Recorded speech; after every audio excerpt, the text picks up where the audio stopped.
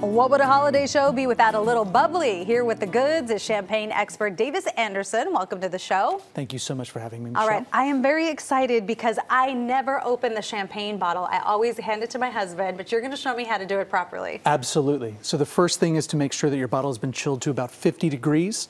If you don't have your bottle cold already, the best thing would be to get it into a bucket with just about a third of ice. Leave it there for about 15 to 20 minutes. If somebody gives you a bottle of champagne as a gift, um, do you have have to keep it in the refrigerator until you're ready to open it, or can you put it? I would keep it off to the side somewhere that's temperature controlled, okay. kept on its side like you would any other bottle of wine. Right. And then just before you're ready to serve it, throw it in the fridge for a couple of hours. If you leave it in there too long, the cork can actually dry out. All right. Okay, so let's get this. You show me how to do this. So you're going to remove the foil from the top of the bottle. Mm -hmm. And then once you've done that, make sure your thumb stays on top of the cage. Don't take the cage completely off. You're going to loosen it here. Okay because keeping the cage on will make it easier for you to actually take the cork out. Okay, because you, twist, you never want to take anyone's eye out Exactly. This. You want to make sure this isn't pointed towards anyone you like. Okay. Maybe someone you don't. Maybe.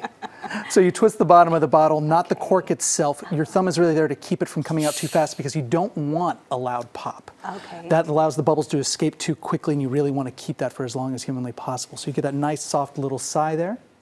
I that was perfect. Thank you. I've been doing okay. this a little while. I know, you have. You have been doing this. Um, so there is a proper way to toast as well. There is indeed.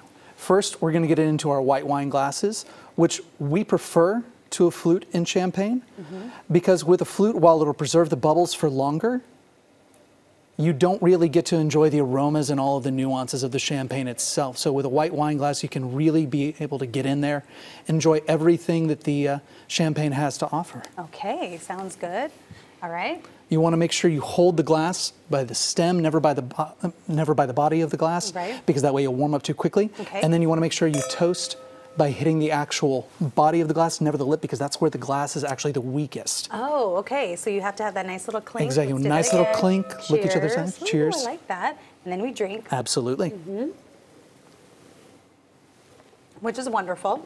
Always we, perfect. We have to mention the brand of the of the champagne, of course, you brought. Moet and Chandon, of course, the most the Imperial Brut, the most famous and most beloved champagne in the entire world. Okay, yes, that's very true, very popular. Okay, so tell us about this drink that you're going to make, and you're going to do it quickly. Absolutely. So we are going to make a cocktail that Moet and Chandon has partnered with Nell Diamond to create. Mm -hmm.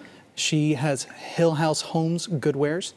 So we're just going to take a couple dashes of pomegranate juice we have a nice little Pop Rocks candy rim here to keep things festive. And then we just pour about four and a half ounces of champagne over top from our festive Art de Vivre bottle. This is our limited edition bottle for December, celebrating the art of French living. You'll find all sorts of beautiful images on it, from the Eiffel Tower to the Louvre. Wow, this is wonderful. And I love Pop Rocks. Makes everything fun, right? So cool. Brings you back to your childhood and your does. adulthood all in one moment. All in one moment. Okay, there we go. The cheers. Cheers. This kind of we didn't really get the clink, but yeah. it's okay. It's because I think the pop rocks are getting in the way. Yeah, but we'll taste this. Hmm. I love it. So great. Thank you so much. And Thank you so much for having me. teaching me how to open up this bottle. It's awesome, and I can here are the Pop Rocks. All right, be sure to check out Moet's Facebook page and follow them on Instagram. And that is all for this show. On behalf of all of the crew and myself here at Bay Area Focus, have a joyous holiday and a happy new year.